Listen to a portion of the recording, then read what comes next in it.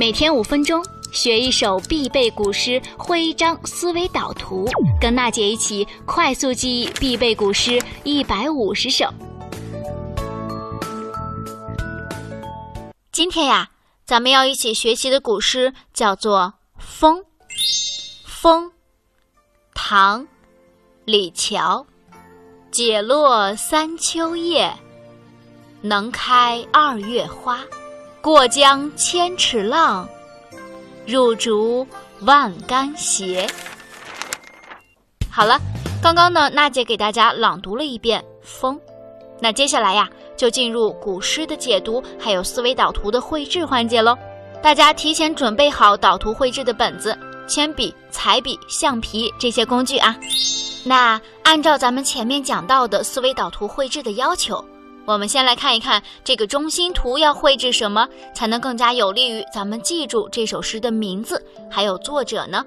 这首诗的名字叫做《风》，那我们是不是可以直接就绘制一团风出来？那风要怎么画呢？其实呀，我们可以先画一朵云彩，然后呢，这个云彩被风吹的一直在跑，或者是呢，这个云彩它自己在吹风，这样中心图风。就知道了，那作者是谁呀？唐朝的李峤。那我们是不是可以绘制一个叫李峤的人，拿着棒棒糖，然后坐在这朵云上？这样，唐，李峤，我们就记住了。接下来呀，我们来看这第一句：“解落三秋叶”，这个是说这个风呀，它能吹落秋天的落叶。那。很好画了，对不对？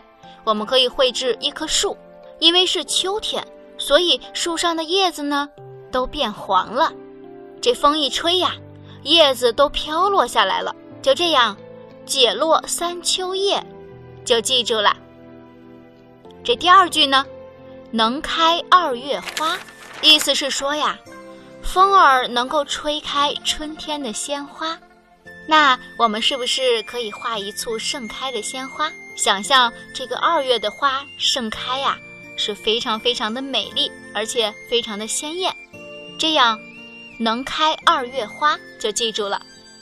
第三句，过江千尺浪，这句是告诉我们呀，当风刮过江面的时候，能够掀起千尺的巨浪。那我们可以画在一个江面上。然后有很多的浪花，浪花非常非常的大，这样过江千尺浪就记住了。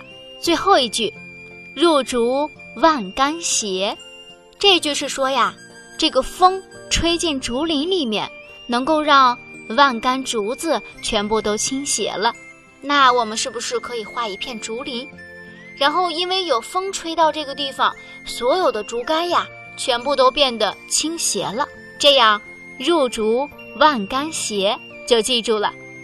好了，那风这张思维导图呢，我们就绘制完成了。小朋友看着自己的作品，或者是看着娜姐的作品，我们先来一起回忆一遍：风，唐，李峤。解落三秋叶，能开二月花。过江千尺浪，入竹。万竿斜，接下来呢，我们把文字给盖上，然后只看咱们绘制的插图，再来回忆一遍。风，唐，李峤。解落三秋叶，能开二月花。过江千尺浪，入竹万竿斜。怎么样？不看文字，我们差不多都能背诵下来了，对不对？非常厉害呢。那最后呀。咱们一起闭上眼睛，来回忆一遍自己刚刚所画的所有的插图内容。中心图还记得是什么吗？这个拿着棒棒糖的李峤，他坐在一朵云彩上，而且这个云彩呀吹着风，或者云彩被风吹着一直在跑，所以这个题目叫做《风》。唐，李桥。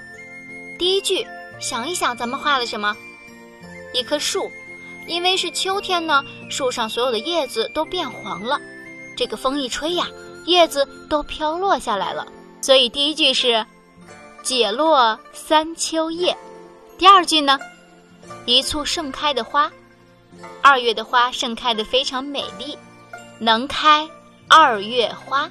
第三句，江面上的浪花，浪花非常非常的大，所以呢，过江千尺浪。